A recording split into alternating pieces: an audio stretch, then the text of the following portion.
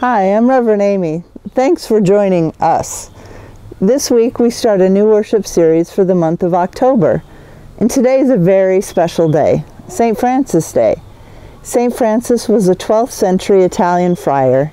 He is known as the patron, patron saint of animals. There are many stories about St. Francis's life. He preached to birds and befriended a wolf terrorizing a village. We often remember this day by a blessing of the animals. How interesting that we bless the creatures that are already such a blessing to us. I think they already come to us blessed. Our pets are beloved members of our families. We thank God for such loving companions, especially during the pandemic. So many animals have really cared for us as we care for them. So let's take a deep breath and center ourselves as we prepare to worship God.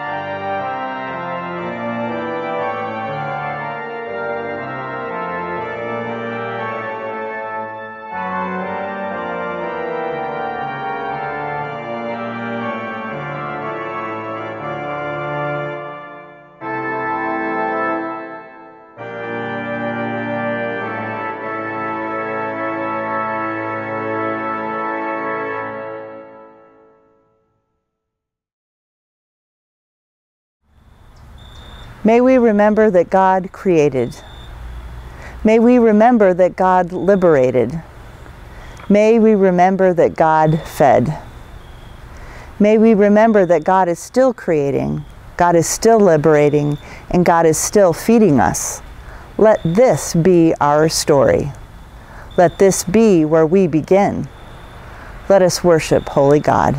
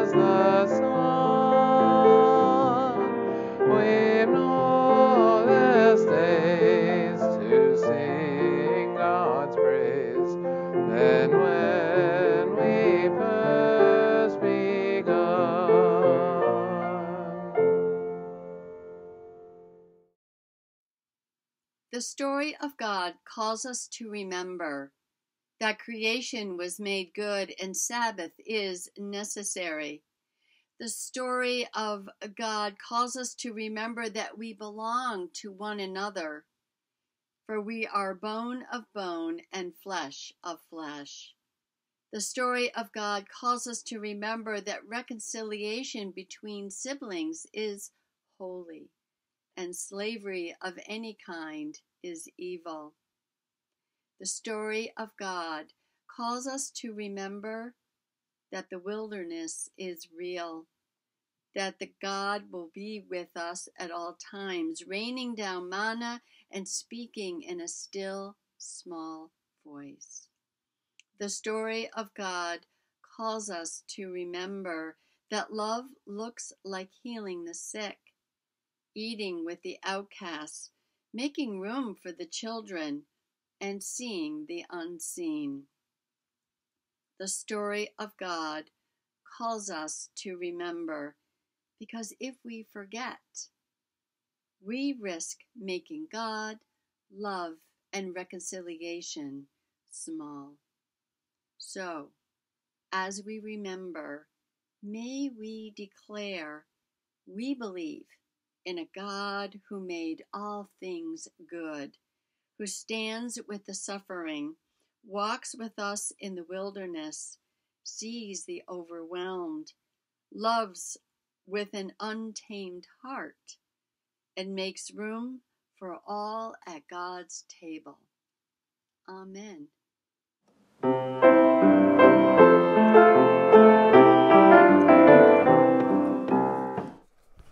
Good morning, friends. I'm so glad you could join us here again today. This week, I have been thinking about what it means to have enough. Have you ever worried that you would run out of something? Or have you ever run out of food and been hungry? Did you ask for help to get more? Who did you ask for help?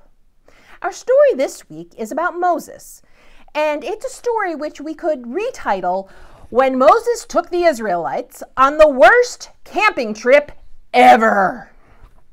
Have you ever gone camping? Well, did you pack food for your camping trip? When we go camping, we usually take enough food with us to last the whole time we're away from home. But if we run out of food, we can usually find a local grocery store or restaurant to eat. Well, the Israelites lived in Egypt, where they had plenty of food available. Maybe they didn't have a grocery store, but they probably could have gone to a marketplace to get some more groceries or food when they were hungry. But when Moses took the Israelites on their trip to the promised land, they were in the desert. What do you know about the desert? Well, it's hot and it's dry, and not a lot of food grows in the desert. So, the Israelites didn't have much food, and eventually they started to get hungry and worried that they wouldn't have enough food. When you're hungry or worried that you don't have enough to eat, who do you complain to? At my house, when my kids don't think we have enough of the food that they like, they complain to me. Well, the Israelites complained to Moses about not having enough food, and Moses complained, or he prayed, to God. He told them that the Israelites were running out of food and they were worried. Do you know what God did for the Israelites? He sent manna from heaven. He sent enough bread so that all of the Israelites could eat and not be hungry or worried anymore. He didn't send them an all you can eat buffet, but he did make sure that there was something for everyone that day. Sometimes when we worry we won't have enough, who do you complain to? Did you ever pray to God that He would send you food so you wouldn't go hungry? I'd like to tell you one of my favorite stories. It has a very happy ending. It's about a time when God used me and my friends to help other people who were worried that they wouldn't have enough. In my house, we call this the Great Christmas Cookie Miracle Story. It happened a few years ago when the quilt guild I belong to had its annual holiday party in December. We celebrate the holiday season every year with something called a Christmas cookie social. All of the members come and bring their own homemade Christmas cookies to share with everyone. And there are tons and tons and tons of the most delicious cookies you have ever eaten. There are so many cookies that even after sharing them with everyone and everyone making a plate to take home to share with their families, there are dozens and dozens and dozens of cookies left over. Well, on this day, it was my job to clean up after the meeting and decide where to bring the cookies. We packed them all up in big boxes and we planned to take them to Albany to the Capital City Rescue Mission. That is a very special place in Albany that makes free meals for people every day in Albany. It gives these meals to hundreds of men and women who are hungry. So on that day, after school, I grabbed my son Daniel and we headed over to the city mission. When we arrived at the front door, they told us to take the boxes of cookies right into the cafeteria. As we walked through the door, the head chef welcomed us. When he when we told him we had dozens of cookies, he started to smile and laugh. And as he pointed out to where we could put the boxes, he, he turned to another man working in the room and he said, still smiling and laughing, I told you we would have enough. And then he turned to me and he said, he was worried that we wouldn't have enough cookies for everyone tonight. Thank you for bringing these. As we walked out of that cafeteria, Daniel and I couldn't stop smiling. Daniel asked me, Mom, did you hear what he said? Do you know what we did? It was a Christmas cookie miracle. And it was. Just by sharing our leftovers, we were able to bring a smile to these men's faces and to bring some cookies to men and women who probably had, had no plans for a good homemade cookie that day. The end. That's the my favorite story. We may not know how God is going to help us or who He'll use, but when we ask for help because we don't have enough, God will provide. Let's pray.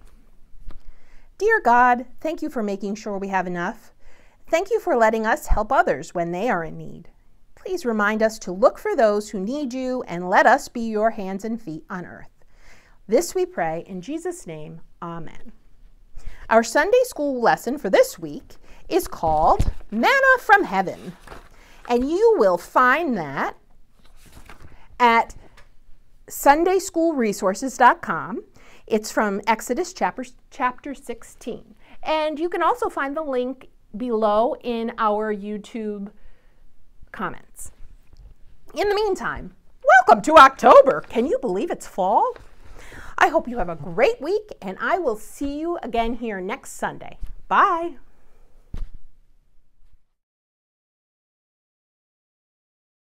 Apprehend God in all things, for God is in all things. Every single creature is full of God and is a book about God. Every creature is a word of God. If I spent enough time with the tiniest creature, even a caterpillar, I would never have to prepare a sermon. So full of God is every creature. All right, now, let's pray. Beloved creatures, you are created by God and you are loved by God. May you and your human family experience joy and companionship together and continue to be a blessing to each other. In the name of the Creator, the Christ, and the Holy Spirit. Amen. Oh, look! A squirrel. There's animals and animals and animals and animals and animals and animals. Yes, Lord, the animals are coming one by one. The old cat chewing on the caraway bun. The animals are coming two by two. The elephant and the kangaroo. The animals are coming three by three. The bear and the pug and the bumblebee. Oh, the animals are coming four by four. The old hippopotamus stuck in the door. The animals are coming five by five. Thus the animals did arrive. Hallelujah. Hallelujah. Hallelujah, hallelujah to the Lamb. Oh, the animals are coming six by six, the hyena laughing at the monkey's tricks. The animals are coming seven by seven, the old fat pig says, Who's that shivin'? The animals are coming eight by eight, Noah hollered out. Shut that gate. Oh, the animals are coming nine by nine, Noah hollered out. Cut that line. Oh, the animals are coming ten by ten. The old dog blew its whistle then, and nobody knew where they was at till the ark come bump on Ararat. Hallelujah, hallelujah, hallelujah, hallelujah, hallelujah, hallelujah, hallelujah, hallelujah,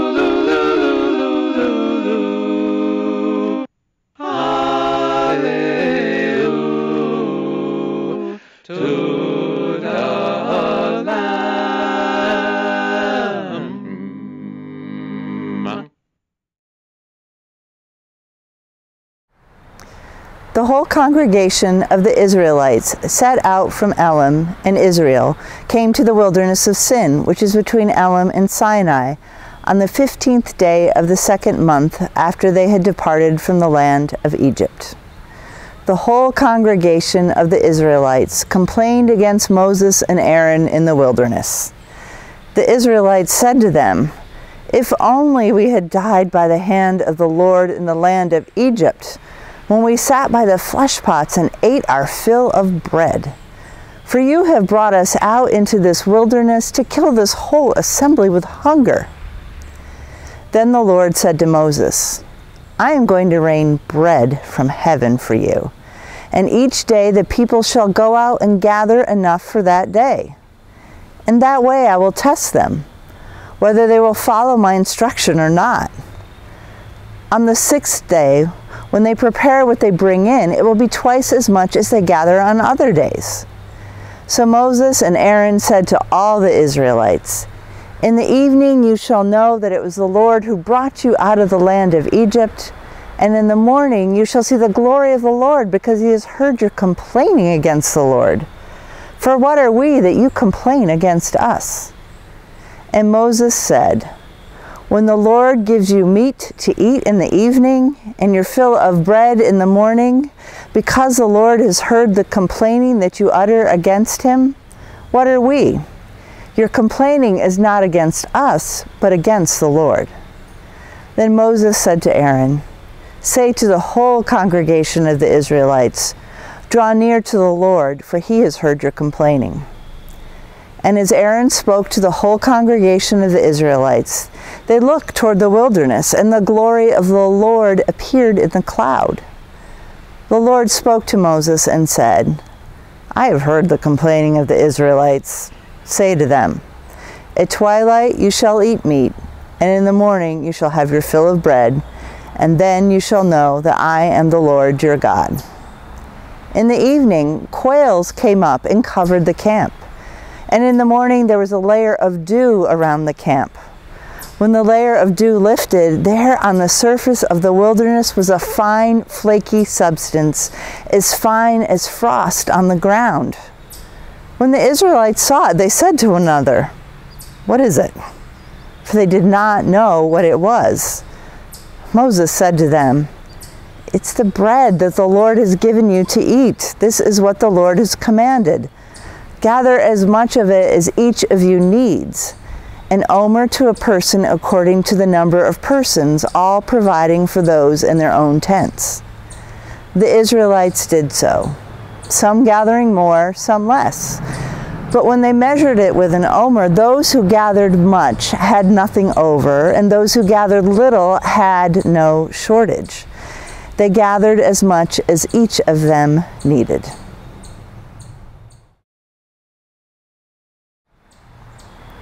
The stories of the Israelites wandering in the wilderness are among my favorite Bible stories.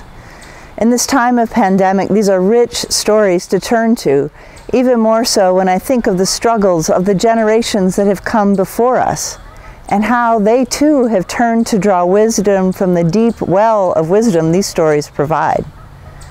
There have been a lot of wilderness wanderings throughout human history, and when we turn to these stories, we see that God is not silent. God is very active. I know that sometimes it feels as if God is silent when we struggle. One of the things that is repeated in this story is that God listens to the people's complaints. God is a good listener, an active listener. God listens and responds. God tells Moses to tell the people, Draw near to me, your God, because I have heard your complaints. Well, isn't that a dream come true? We have a God who listens even to our complaints. I've noticed lately that when people ask, how, how are you? I respond, I can't complain. It seems like a good answer to give that's a lot less long winded than my actual real answer would be. And it's true. I can't complain. I have more, we have more than many people do, especially in these COVID times. Having our health, a job, food, and housing, many of us can't complain. Perhaps I can't complain should be changed to I won't complain because we certainly are very skilled at complaining. We are great at it. We've been practicing and honing this skill for a very long time the Israelites who were once slaves debated the merits of going back to slavery in Egypt because the food was better there. Better than the food that God provided twice a day. The Israelites complain, and what does God do? God still provides quail at night and manna fresh each morning. When people gather it, they gather different amounts. We know this still happens. Some end up with a lot, some end up with very little in life. But when they measured it out, it was all the same enough. That says a lot about people, but it says a whole lot more about God.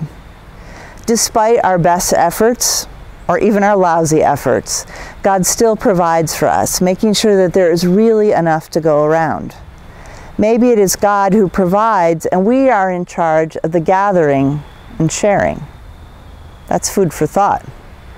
After all, the Israelites didn't lay on the wilderness ground and expect God to feed them with a spoon.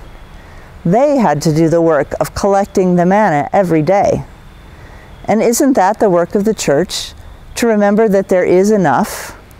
Just about everything in our world tells us that there isn't enough. Not enough money, prestige, our bodies aren't enough, our homes, children, spouses, careers, nothing is good enough. We always come up lacking. In a consumeristic society, that's the way things roll. And we see that they often roll right over people. But isn't that the role of the church to be a balm? To bring some healing to this not enough predisposition? It reminds me of that old hackneyed preacher's joke. A preacher says there's not enough money in the collection plate for the bills. But there's good news and bad news. The good news is that we have the money, but the bad news is that it's in your wallet. It's our work as a church to remember that there is enough. It is among us. It's our work to remember that God provides, God always has provided, and God will keep on doing it and to remember that we need to be involved. We are the distribution center. We're the hands and feet, the generous hearts. We share what we have. As we've been working on reopening our sales in the church under the church's COVID safety plan, you can see people gearing up to get ready to share. Granted, a lot of sharing has been going on even when we're closed, but we're moving into a new phase a lot of people have been hard hit by the virus's economic impact. We'll share household items and clothes. We'll share some smiles, even though they'll be under masks. And we'll work together, which is a huge part of helping us all to remember that there is enough. There really only is enough when we work together. We have a God who listens to us, even our complaints. We have a God who loves us and provides abundantly for us. Let's come together to share God's love and blessings so that truly all may have enough.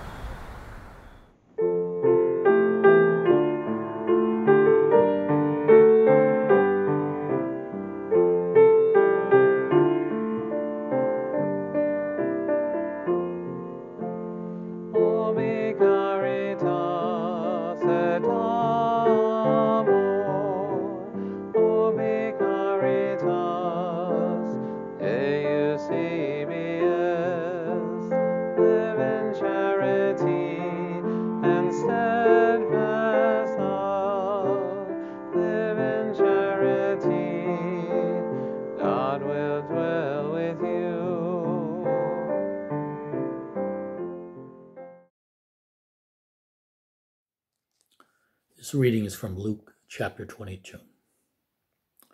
Now the festival of unleavened bread, which is called the Passover, was near.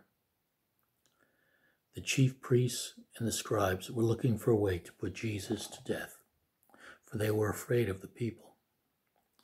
Then Satan entered into Judas, called Iscariot, who was one of the twelve. He went away and conferred with the chief priests and officers of the temple police about how he might betray him to them. They were greatly pleased and agreed to give him money. So he consented and began to look for an opportunity to betray him to them when no crowd was present. Then came the day of unleavened bread, on which the Passover lamb had to be sacrificed. So Jesus sent Peter and John, saying, Go and prepare the Passover meal for us, that we may eat it. They asked him, Where do you want us to make preparations for it? Listen, he said to them.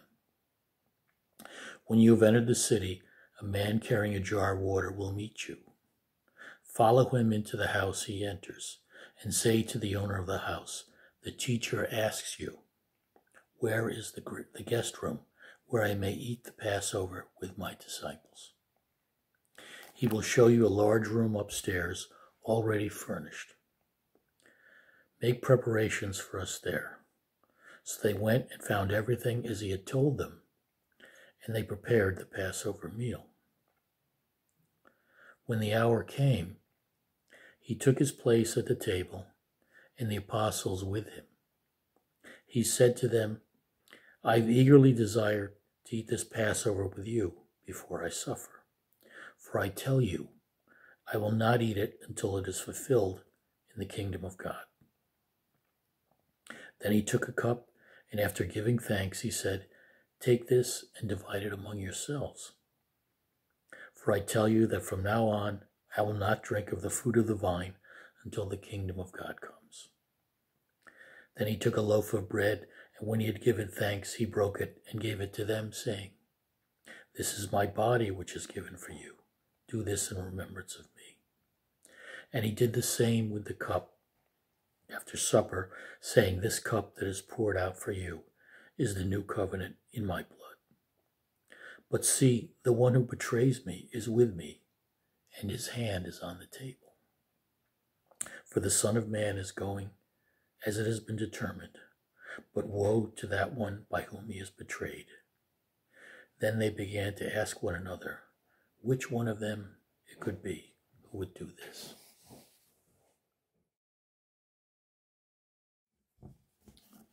Betrayal. We all know this story, and sadly, we still see or experience betrayals in our daily lives today. At work, at home, with friends, maybe even here at Delmar Methodist. I've been a member here over 20 years and have seen many people come and go. That comes with being an usher, among other roles at our church. Sometimes it's a mystery why certain people have left. Often these people were active in the church and came to worship regularly. Then they were gone. My thought is that they may have felt betrayed in some way, maybe by someone they loved or were friends with or that they trusted. And the pain was so great that they chose to move on and take their gifts elsewhere. I have a hunch that feelings of betrayal are common in church settings because we're there to do good, not to earn a paycheck or entertain ourselves or any number of other things. We can be very invested spiritually and emotionally. And when we try to do good and we get hurt, the pain can be very intense. I myself felt a bit betrayed on occasion at church, but I won't go into details here since these are very minor blemishes to a wonderful spiritual growth experience that I've enjoyed with my family uh, over many years. If I just have a few minor gripes, that I'm really quite fortunate compared to those in our congregation and beyond who constantly suffer prejudice about their race, gender, age, sexual orientation, and so on. Pam and I have stuck around Delmar Methodist and have pledged faithfully to the church each November. So why haven't we packed up our bags and headed elsewhere or nowhere? I suppose because of the simple recognition that we're all human here. We try to live a Christian life, but we make mistakes, and unfortunately, we often have no idea how our words and actions are perceived by others. And of course, the many wonderful things that happen here far outweigh any negatives. But in any event, it's of course not just about all of us. Consider our reading from Luke, which I believe ultimately is about God's love for everyone. Judas betrayed Jesus in exchange for money, but was still invited to the table. Jesus was not interested in punishing Judas. Quite the opposite. He wanted to find a way to bring him back. What an enormous challenge that offers us to not seek revenge, to not walk away, to not stop giving of ourselves. God's love for us is steadfast in good times and in bad. He does not betray us. Amen.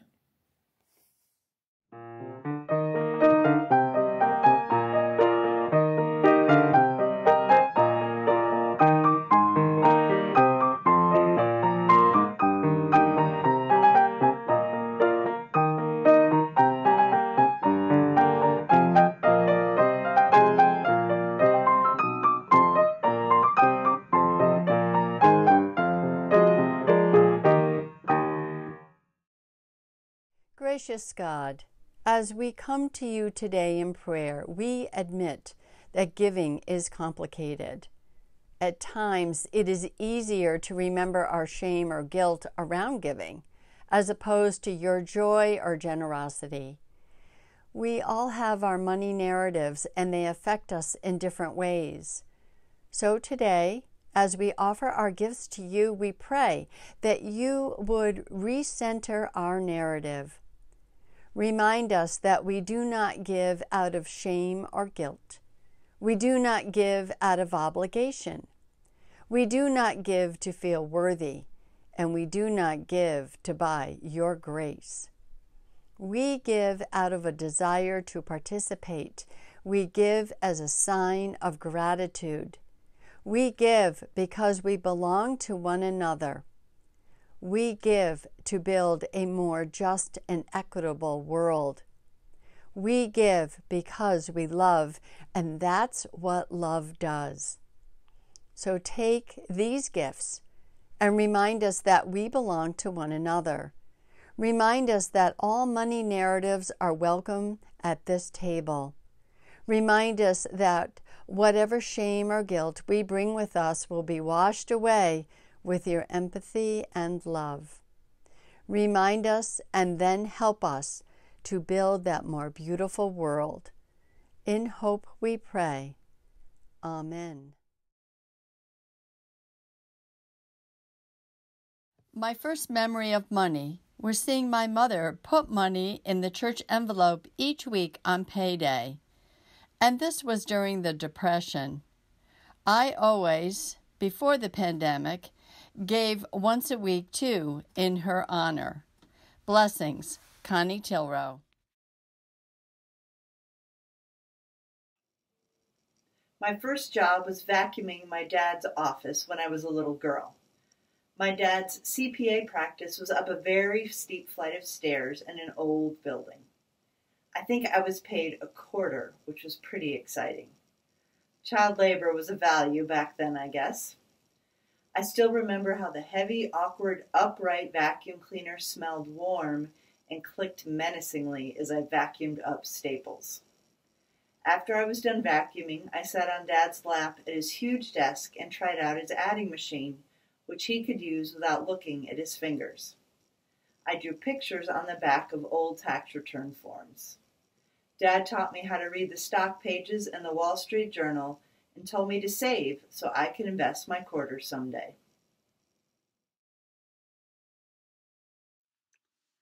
Lord of justice and mercy, we quibble over perceived little injustices. We look around us and see mercy being offered to others when we feel that they have done little to merit such treatment. Our world is in such bad shape. There are true injustices and horrible situations in which peace and mercy seem to be dim and distant hopes.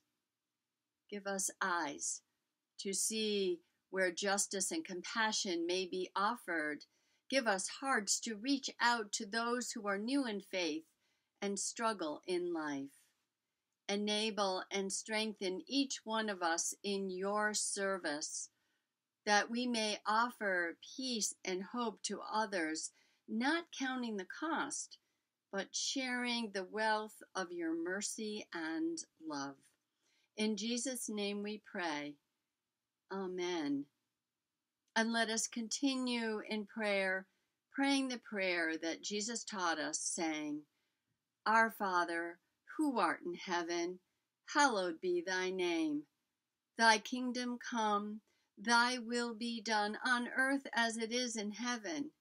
Give us this day our daily bread, and forgive us our trespasses, as we forgive those who trespass against us and lead us not into temptation, but deliver us from evil.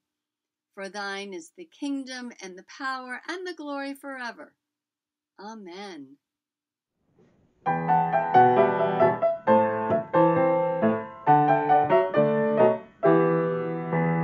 Dios a la esperanza, danos gozo y paz. Al mundo en crisis habla tu verdad. Dios de la justicia, mándanos tu luz. Luz y esperanza en la oscuridad. Oremos por la paz. Cantemos tu amor. Luchemos por la paz. Fieles a ti, Señor.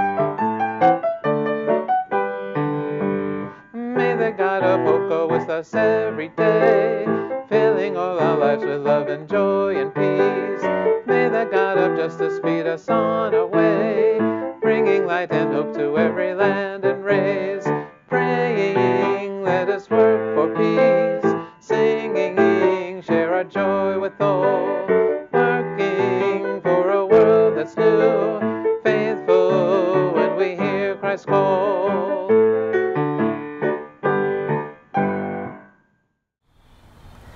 Go in the peace of Christ.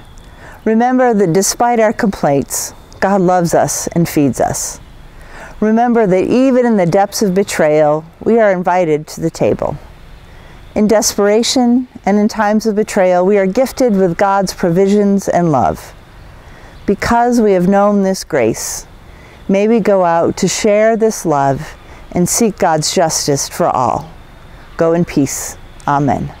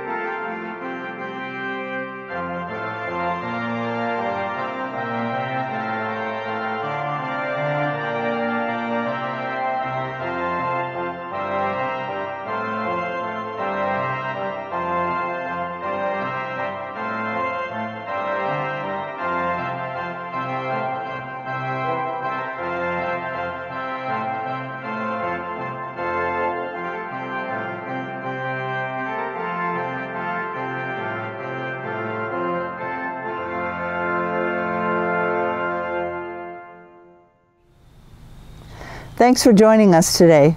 We hope to see you here again next week. In celebration of St. Francis, I leave you with his words in his well beloved prayer Lord, make me an instrument of your peace. Where there is hatred, let me sow love. Where there is injury, pardon.